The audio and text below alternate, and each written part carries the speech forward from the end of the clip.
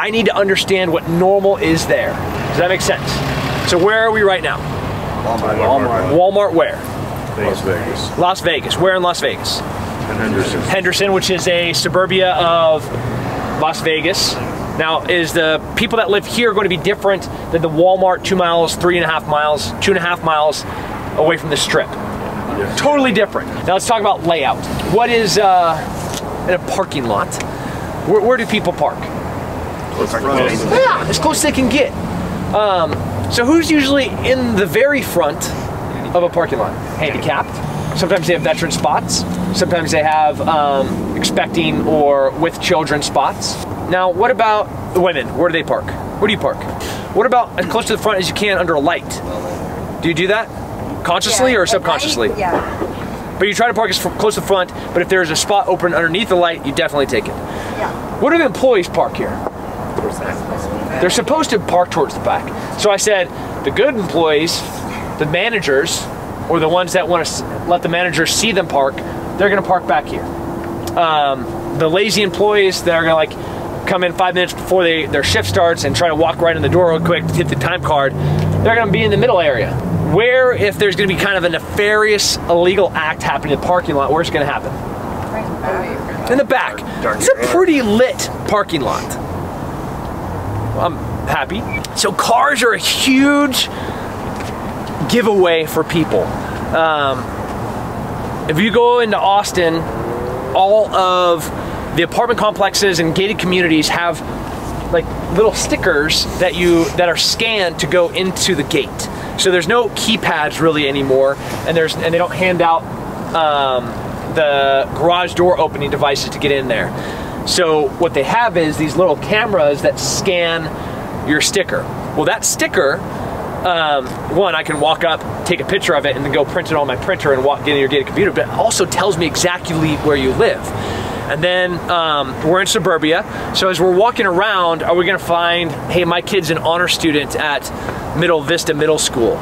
Probably. We're going to see a couple of little um, Star Wars figurine stickers on the back with a couple little tiny ones and maybe even a dog that looks like an AT-AT, right? So now I know where their kid goes to school. I know how many kids they have. I know what apartment complex they live in. Um, I also know what church they go to. I could probably figure out um, the gender of the person and the occupation, their socioeconomic income, and their race just off their car. You guys agree that we can figure that out as we walk around the parking lot? Yeah. Those are things that we're always working, right? When we're when we're looking, when we're observing, and we're taking in that information, what you want to be able to do is have that situational awareness open all the time, and you're just taking all of this information in, and the better you get at it, the more picky you get to be about the information. In that awareness, the next thing is assessment. Assessment, I usually add the word threat in front of it, so it's threat assessment. I have awareness all the time, right? I'm looking at where I'm gonna park, where I'm gonna get out, where I'm gonna find a gun, and then when I see something that doesn't fit into that kind of assumed normal, average world around me, my perception and the amount of energy that I'm spending being aware of everything kind of starts getting directed at an individual or something that's off. And then I start scrutinizing it a little bit more. So to get good at this, you have to practice it a lot. And we practice it a ton. As Mike and I are sitting there, we look around the room, we're like, yeah, they're on their first date. How cute. Um, we start making assumptions about everybody in the room. Those assumptions you get really, really good at. And we, we, we both used to work in formants, so we're really good at striking up conversations and talking to people. So once we kind of go through the room and figure out who everybody is, what their job is, how much money they have, if they have a gun, if they don't have a gun, what car they're driving, maybe what food they ordered, or, or how their interaction is with each other, I'll go up and strike up a conversation to figure out how close we are, how right I am. And like, we get really, really, really good where we're right almost all the time. I've been wrong before, but I get wrong less and less. Let's talk about distance to each other. Do we know each other? Yeah. Yeah. Yeah. So we, we kind of have like four different distances. You have an intimate distance, which is um, husband and wife, really, really good friends. Um, and then you kind of have like agreeable, aware, you know each other, but you're not tight, right? Which is kind of like where this is. This is a comfortable distance for people that know each other. Then you kind of have a business distance, which is here. This is where we're like, um, I'm aware of who you are as a person, but we don't really have a relationship. And then we have the, I don't know you, and I don't want you to get any closer than me distance. So as you look around the room and you see the interaction, that's called biometrics. That's how people interact with each other. That's really informative. If I see a guy walking into the parking lot of a football game and he's wearing white prayer robes and he's sweating bricks and he has a bunch of shit around his waist, would I be kind of concerned? Whereas if I saw, I'm at the Dallas football stadium and I see a dude with a cowboy star, the cowboy hat, with a cowboy tattoo, you know, with like a cowboy jock strap, is that normal? Like that's what I expect to see. And his buddy next to him as they're walking in, they're like, ah! right? Right? That was great. That's gonna be normal interaction between two people. What if they're all dressed appropriately, wearing a shit ton of of cowboy crap, and um, and they're like walking like this? Something off, right?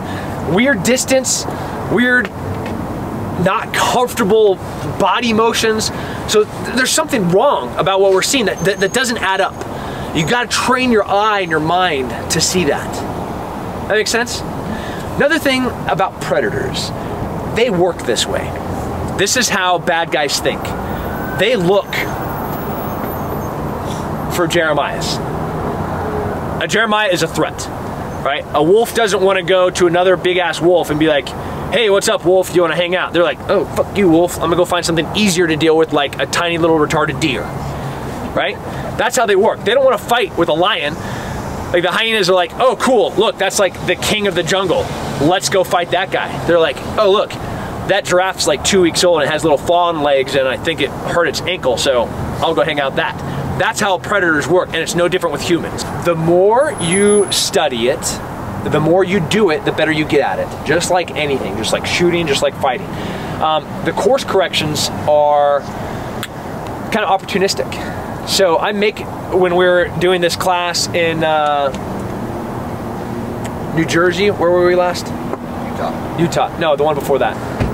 New Jersey. Um, we were doing this class, and I walked up to a car, and I made. All right, this this is a woman. Um, this is her race. This is how much money she makes. She works somewhere around here. Um, all these assumptions about her. Lo and behold, about 10 minutes later, this girl comes sticking her head out, and she's like, what are you guys doing by my car? I'm like, hey girl, what's going on? What do you do? And five minutes later, she confirms every single detail we made about her and her car from her, well, from her car about her. And she was the exact same race, which was black, which was not average for there. Um, her religion, number of kids that she had, where she lived, obviously where she worked.